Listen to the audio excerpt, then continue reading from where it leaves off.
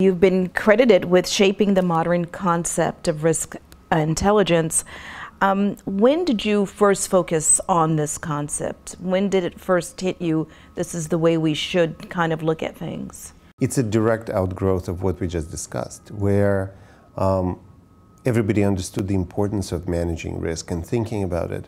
But that scientific discipline was so disconnected from the way that senior executives and leaders thought about the business and thought about economics and finance and there was an additional angle where the way risk management evolved, it became almost a policing function, something that you perceive that is impeding your objectives and impeding progress.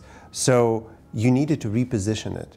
And the way you would think about it is you look to other corporate disciplines that became really, really useful. So competitive intelligence, business intelligence, political intelligence, all of these disciplines that I specifically used to understand the environment and make better decisions.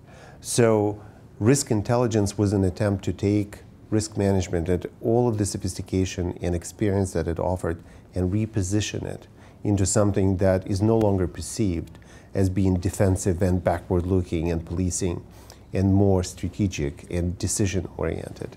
Um, and that definition really became popular since then in repositioning that, that field to be practically useful to, to executives.